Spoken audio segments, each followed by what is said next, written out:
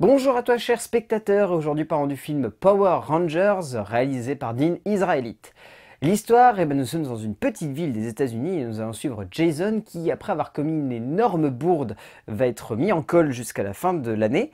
Et dans ces heures de colle, il va faire la rencontre de Billy euh, qui va l'emmener sur un terrain vague un soir en l'échange de la location de sa bagnole. Et les deux jeunes gens vont faire une découverte assez extraordinaire avec l'aide de trois autres adolescents qui vont changer leur vie. Je ne dis rien de plus, même si évidemment vous vous doutez qu'ils vont devenir les Power Rangers.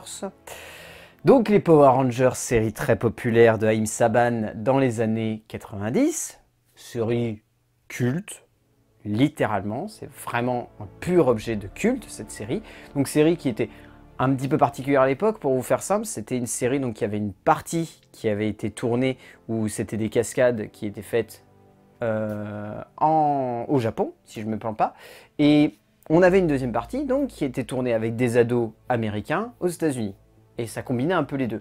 C'était un peu particulier comme concept. Hein. Au final, ça s'est fait avec plutôt de subtilité et c'était assez intéressant. Mais à l'époque, c'était assez surprenant comme concept. Et le long métrage de Dean Israelite rend très très bien hommage à la série de Haïm Saban. C'est loin d'être un grand film, c'est loin d'être un chef-d'œuvre, on est plus sur un divertissement très classique, voire limite simpliste, mais ça fait le taf et la nostalgie ne plombe à aucun moment le long métrage.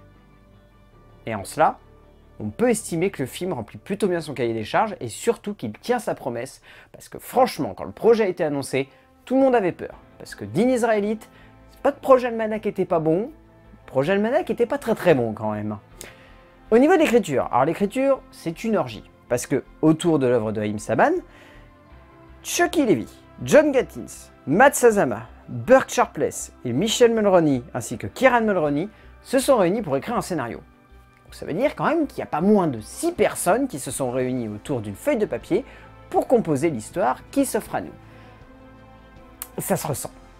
Ça se ressent clairement qu'ils ont été beaucoup, beaucoup, beaucoup à plancher sur l'histoire de ce film.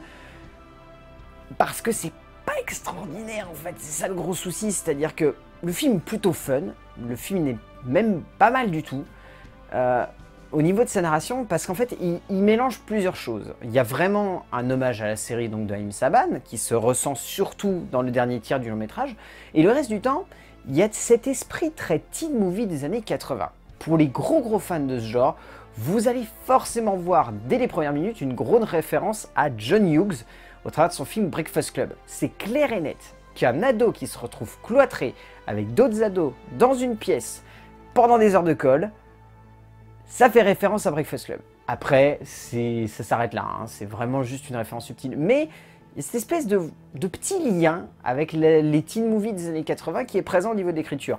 Après, le souci, c'est qu'il y a beaucoup, beaucoup, beaucoup d'expositions.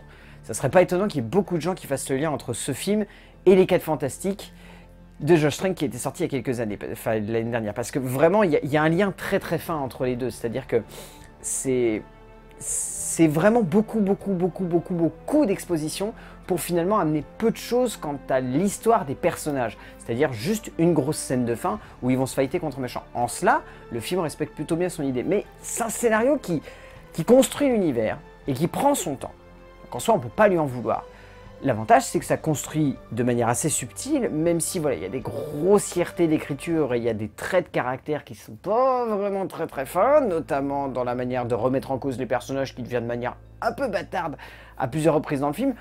Mais il y a une idée. Il y a une idée qui permet au film d'emmener son sujet jusqu'au bout et d'aller vraiment dans le côté c'est l'union qui fait la force, c'est l'esprit d'équipe qui domine, et il faut arriver à se, souder les uns des autres pour pouvoir battre cette méchante. Méchante quand même qui s'appelle Repulsa, donc euh, doit être un petit peu méchante si elle s'appellerait ta Repulsa. Euh, au niveau de la mise en scène, alors Dean Israelite, euh, ça se ressentait déjà un petit peu dans Projet Almanac, ce mec-là est sous perfusion Michael Bay. C'est clair et net, mais la manière avec laquelle il met des plans en scène, notamment les petits plans légèrement c'est grosse perfusion Michael Bay, genre c'est limite si ça ne vient pas du plagiat par moment, hein. c'est un peu violent. Mais il y a une certaine composition de la mise en scène, et il y a un plan, moi que j'ai trouvé très représentatif de l'envie, en tout cas de Disraelite, de vouloir vraiment faire ressortir une scénographie un petit peu nouvelle, c'est un des plans au tout début, où Jason va fuir en fait euh, la police et c'est uniquement une caméra sur un pied qui va faire des panneaux circulaires et qui va faire ça plusieurs fois.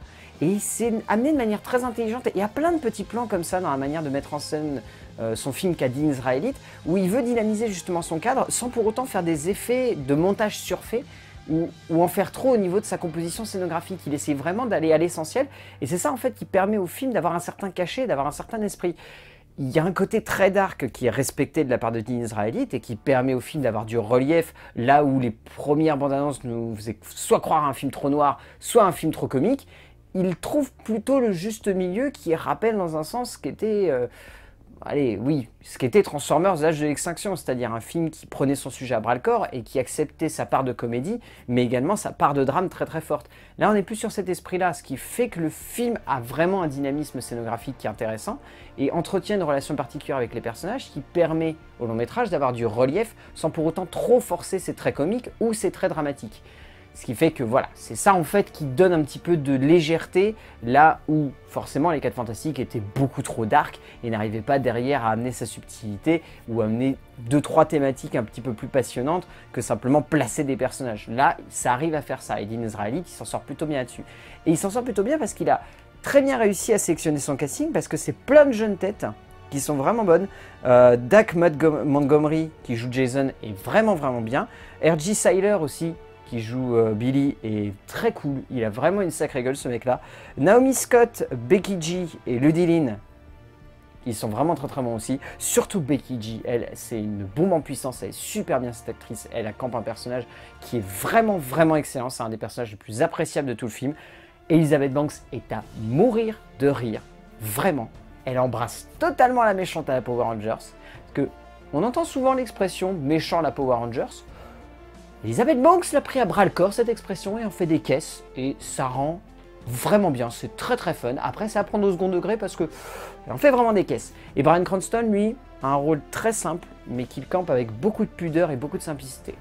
Et au final Power Rangers c'est du fun quoi, c'est vraiment du pur fun ce film. Faut pas chercher plus loin. C'est un hommage qui est bien foutu, qui est divertissant, qui est entraînant et qui ne va pas plus loin c'est apprendre comme c'est, il n'y a pas besoin de chercher de réflexion, et ça n'est jamais cette espèce de truc complètement kitschouille qui est à mourir de rire, c'est simplement un bon délire, simple et efficace. Donc si vous avez l'occasion de voir Power Rangers de Dean Israelite, why not? Go go Power Rangers. A plus